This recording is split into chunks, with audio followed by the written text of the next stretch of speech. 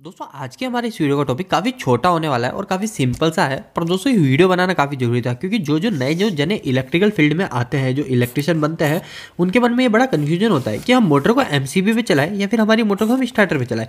दोस्तों, मेरे मन में भी स्टार्टिंग में क्वेश्चन था। तो दोस्तों, ऐसा क्यों होता है हमारे मन में? क्योंकि दोस्तों, देखो, क्या होता है, जैसे ये तो हमारे पास एक कॉन्ट्रेक्टर है, पर आपने अपनी कंपनी के अंदर अधिकतर कई बार देखा होगा डी ओल स्टार्टर को हम लगाते हैं डी ओ एल जो कि डायरेक्ट ऑनलाइन स्टार्टर जिसको हम बोलते हैं।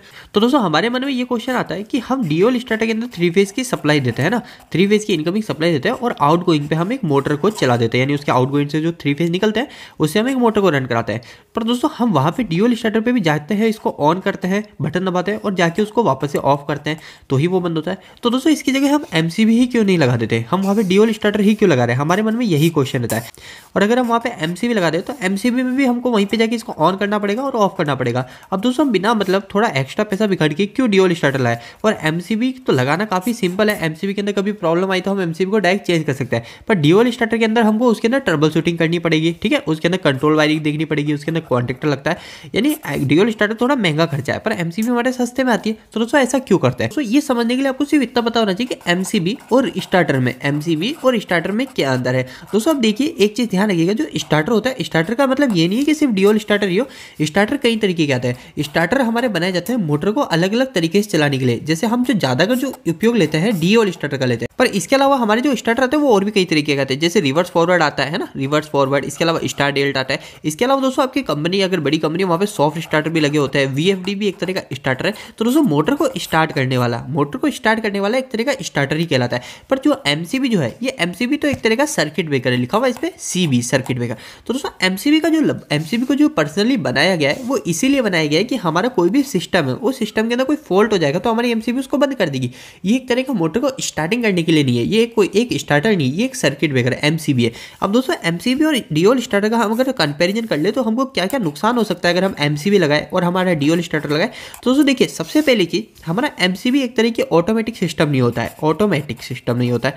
डिओल स्टार्टर जो होता है, वो हमारा ऑटोमेटिक होता है। अब दोस्तों, आप बोलोगे डिओल स्टार्टर को भी हमको वहीं पर जाके इसको ऑन करना पड़ता है। दोस्तों वहाँ जाके ऑन करते हैं। पर हम चाहे तो उसके अंदर एक रिमोट वायरिंग होती है। रिमोट वायरिंग होती है और उस रिमोट वायरिंग की सहायता से हम उस डिओल स्टार्टर यहाँ पे लग रहा है और हम यहाँ से भी उसको ऑन ऑफ़ कर सकते हैं। पर एमसीबी के केस में आपको यहीं पर जाके इसको मैनुअली हाथों से हाथों से इसको ऑन करना ही पड़ेगा, ठीक है? इसके अलावा दोस्तों और भी प्रोटेक्शन होती है जिससे जो डिओल स्टार्टर होता है, उस डिओल स्टार्टर के अंदर आप जितना चाहे, उतने चाहे हमारी प्रोटेक्शन को बढ़ा सकते हो, उसके अंदर इंटरलॉकिंग कर सकते हो। पर एमसीबी के अंदर ऐसा कुछ भी नहीं होता है। इंटरलॉकिंग क्या होता है? इसके ऊपर मैंने ऑलरेडी वीडियो बना रखा है। आप वो देखना चाहते हैं तो इसी वीडियो के मैं एंड इसके सेशन में डाल दूँगा। आप वहाँ से वो वीडियो देख लीजिएगा। इसके अलावा बात करें तो दोस्तों हम क्या कोई कोई चीज़ें एड ऑन में लगाते हैं। एड ऑन का मतलब जैसे हम चाहते हैं कि हमारी जब मोटर स्टार्ट हो जाए तो हमारी कोई एलईडी चल जाए और हमको पता चल जाए हमारी ऑन वाली लाइट चल गई तो हमारी मोटर ऑन होगी तो वो सब हम इस एमसीबी के साथ में नहीं कर सकते। इस एमसीबी में हम यहाँ पे कोई एड ऑन ब्लॉक नहीं लगा सकते। पर जो कॉन्ट्रेक्टर होता है, इस कॉन्ट्रेक्टर में यहाँ पे एड ऑन ब्लॉक लग जाता है। तो जब ये ऑन होता है तो वो एड ऑन ब्लॉक भी ऑन हो जाता है। इसके अलावा दोस्तों, हम डीओल स्टार्टर या फिर कोई भी कॉन्ट्रेक्टर होता है, उसमें हम टाइमर को भी लगा सकते हैं कि हम चाहें कि हमको बार बार जाके उसको बंद चालू नहीं करना। हम चाहते हैं कि हमारी मोटर सुबह चल जाए और दो घंटे बाद अपने आप बंद हो जाए। तो दोस्तों, वो सब चीज़ें भी हम डीओल स्टार्टर में कर सकते हैं, किसी भी स्टार्टर में कर सकते हैं। पर एमसीबी के केस में नहीं कर सकते। तो दोस्तों, आपको एक चीज़ ध्यान रखनी है, जो एमसीबी जो होती है, वो एमसीबी एक तरीके हमारी हैंड ऑपरेट होती है हैंड ऑपरेटेड होती है ना? और ये एक तरह का हमारा सर्किट ब्रेकर है। पर जो हमारा जो मोटर स्टार्ट होता है, उस मोटर स्टार्टर के अंदर एक कॉन्ट्रेक्टर लगा होता है। तो ये जो कॉन्ट्रेक्टर होता है, ये कॉन्ट्रेक्टर जो होता है, ये हमारा इलेक्ट्रिकली स्टार्ट होता है। इलेक्ट्रिकली स्टार्ट का मतलब इनको हम ऐसे पुश बटन की सहायता से हम जैसे सप्लाई देंगे, किसी भी तरीके से हम इसको सप्लाई देंगे और ये स्टार्ट हो जाएगा। इसको हमको मैनुअली जाके ऐसे दबाना ही नहीं पड़ेगा। इसको हम इलेक्ट्रिकली स्टार्ट कर सकते हैं, पर इसको हम हाथों से ही जाके स्टार्ट करना पड़ेगा। दोस्तों, इस वीडियो खत्म करने से पहले आपसे एक रिक्वेस्ट करना चाहता हूँ कि दोस्तों, अगर आप कोई भी कमेंट बॉक्स में कमेंट करते हैं, जैसे आपका कोई क्वेश्चन आपने कमेंट बॉक्स में कमेंट करा है, और दोस्तों, जब आप कमेंट बॉक्स में कमेंट करने आते हैं, तब आपको दिखते हैं काफ़ी और लोगों के भी क्वेश्चन रहते हैं।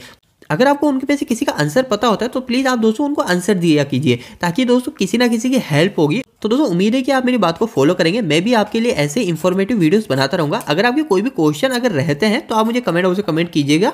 मैं उसके ऊपर डिटेल वीडियो बनाने की कोशिश करूँगा। और दोस्तों, वैसे मैं कमेंट हाउस में कमेंट करके रिप्लाई भी देने की कोशिश करता हूँ। तो दोस्तों, उम्मीद है कि आपको ये वीडियो अच्छा लगा होगा। आपको यह वीडियो कैसा लगा, इस वीडियो को लाइक करके ज़रूर बताना। अगर आपको कोई भी सवाल इस वीडियो के प्रति इलेक्ट्रिकल से जुड़ा है तो आप मुझे नीचे कमेंट बॉक्स में कमेंट करके पूछ सकते हैं। इलेक्ट्रिकल वीडियो अगर आप हिंदी पसंद करते हैं, आज हमारे चैनल को सब्सक्राइब कर लीजिए। आज के लिए इतना ही। धन्यवाद।